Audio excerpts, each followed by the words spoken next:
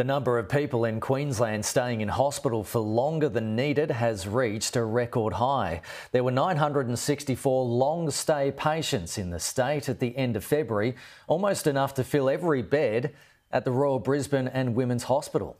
A lack of aged care and disability help is believed to be driving the figures.